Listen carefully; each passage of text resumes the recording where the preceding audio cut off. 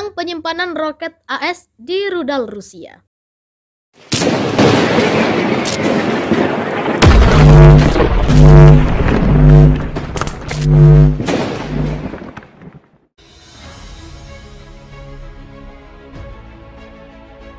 Angkatan bersenjata Rusia menghancurkan gudang amunisi di wilayah Odessa menggunakan rudal jelajah kaliber.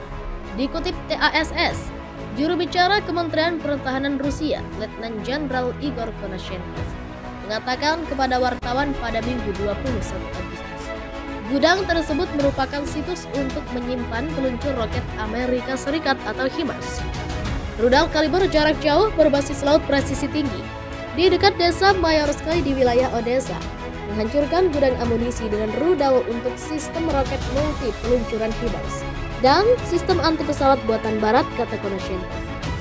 Sementara itu, Reuters melaporkan seorang juru bicara pemerintah daerah Odessa mengatakan dua rudal telah ditembak jatuh di atas laut, tetapi tiga lainnya mengenai sasaran pertanian.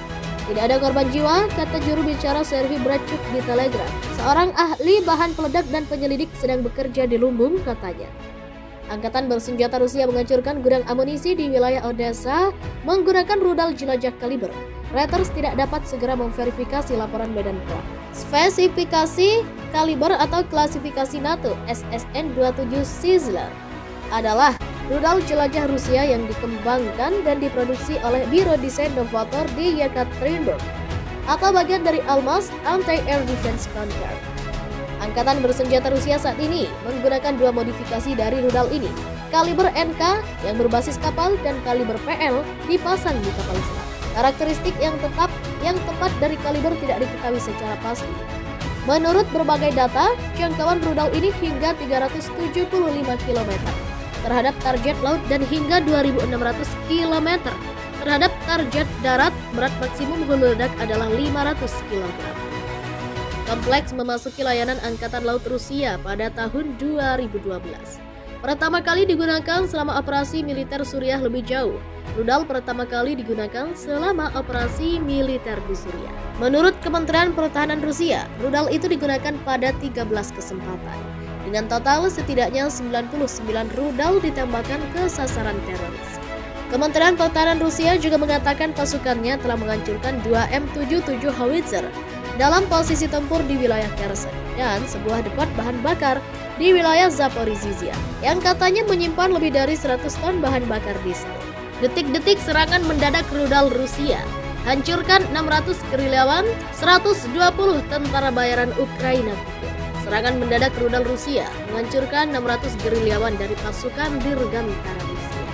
Di titik penempatan pusat kekaisaran di desa Konstantinovka, wilayah Odessa.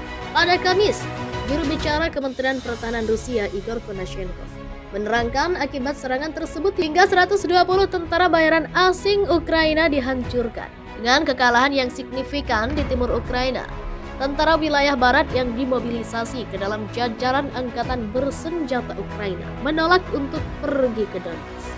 Akibatnya, personel militer Brigade Pertahanan Teritorial ke-100 di kota Lutsk, wilayah Volyn, dengan kekuatan penuh menolak untuk berpartisipasi dalam pertempuran, di mana pasukan tersebut dilucuti oleh Komando Angkatan Bersenjata Ukraina, di mana penghasut ditangkap dan keputusan dibuat untuk mengatur kembali dunia. Pada siang hari, penerbangan operasional taktis menyerang fasilitas militer di wilayah Ukraina menghancurkan 9 pos komando termasuk Brigade Marinir ke-59 di Mykolaiv. Tempat tentara bayaran asing ditempatkan. Serangan kejutan pasukan Rusia dari awal incar tentara Ukraina yang berada di dalam markas militer Ukraina bersenjata Rusia. Terus menerus menyerang militer Ukraina. Terlihat pasukan Rusia melakukan serangan mengejutkan kepada musuh di wilayah Kherson. Dalam video amatir itu memperlihatkan detik-detik pasukan Rusia menyerang markas militer Ukraina yang ditempati tentara Ukraina. Dikutip dari Tribun Timur.com, video tersebut beredar di Telegram pada Selasa. Pasukan udara Rusia tampak menyerang markas militer Ukraina yang ditempati tentara Ukraina berada di posisi yang tepat. Dalam video tersebut, terlihat markas militer yang ditempati pasukan Ukraina. Jalanan nampak sepi, hanya ada beberapa kendaraan saja yang melintas.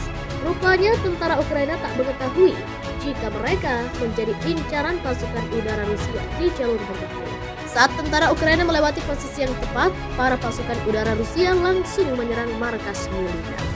Nampak pasukan Rusia meluncurkan tembakan berkali-kali, membuat markas militer Ukraina tersebut hancur total. Pesawat tempur Su-34 Rusia hancurkan markas militer Ukraina lewat satu serangan mendadak pada Selasa. Dilansir dari Telegram Kementerian Pertahanan Rusia, diperlihatkan rekaman jejak tempur awak pesawat pembom tempur Su-34 menghancurkan infrastruktur militer angkatan bersenjata Ukraina. Selama serangan mendadak, kru pembom tempur Su-34 menggunakan rudal presisi tinggi berpemandu udara ke permukaan. Mereka dirancang untuk menghancurkan benteng musuh dan target yang dibentengi. Keberangkatan dilakukan di siang hari dan malam hari dalam kondisi cuaca apa pun. Pasukan Rusia melanjutkan pengeboman di kota-kota seluruh Ukraina. Pihak berwenang Ukraina mengatakan serangan di Sumi yang terletak di utara Ukraina semakin intensif. Selain itu, bom klaster digunakan di kota Mykolaiv dan sebuah serangan rudal di Odessa. Serangan rudal Rusia di Odessa Senin melukai empat orang dan menghanguskan rumah-rumah.